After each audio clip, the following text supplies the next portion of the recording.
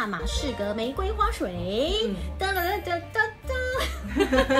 来跟大家讲啊，花水跟化妆水呢，它基本上其实是一样的东西。那为什么它要叫花水呢？因为呢，那是精油在酿造的过程当中呢，它上面蒸发的那些水分，然后把它搜集下来，所以它是含有玫瑰精油，特别是玫瑰精油里面最顶级的大马士革玫瑰精油的花水，就是它在酿这大马士革玫瑰精油的时候，上面蒸汽产生的那一些水分，通通都集中在这一瓶里面。所以为什么花水才会这么贵？其实玫瑰呢，它是所有精油里面最万用的。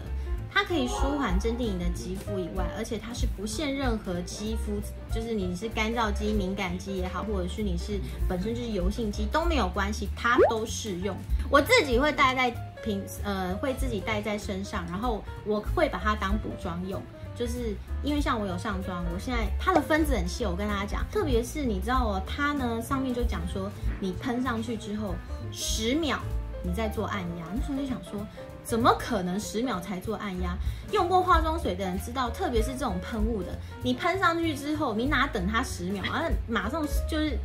那个水水流一样，就是滑下来。可是跟大家讲一点都不夸张，它呢喷上去之后，它的分子细到。你的肌肤的毛细孔会自己去抓住，因为你这整个卸完妆啊、洗完脸之后，你的所有毛细孔都打开了嘛，对不对？那么呢，当你毛细孔打开的时候，第一时间大家先不要去吹头发，不要擦乳液，第一个时间一定要顾你的脸，对，赶快把这一瓶，你刚才这一瓶拿出来，然后 先做个基本的这样喷喷喷喷喷，连的头皮都喷到都没有关系。很妙的就是，当你在花水跟化妆水的这一个步骤呢，把这个水分呢，真的。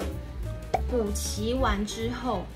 你下面的精华液的分量可以很少，你乳液也可以很少，甚至是它的效果会比原本的效果还要更好。所以这一瓶是我真的我好爱哦，这一瓶哦，你一定要常常喷，因为如果你懒得按压，你怕你的手脏。刚刚讲到它的分子很细，你的毛细孔会自己去抓这个水分，然后呢，它的保湿度很高，它的活性度也很高。所以如果呢，你想要呃，取代化妆水也是可以，它本身就是取代化妆水的东西。保湿其实它就已经会到达嘭跟亮了。我跟大家说，你如果真的像我一样，每一天晚上洗完脸之后，很认真的做基础的玫瑰花水的保湿的话，你在喷到第四次、第五次的时候，你真的可以感觉到你的肌肤是蓬、亮还有软的。当你只要用过一瓶。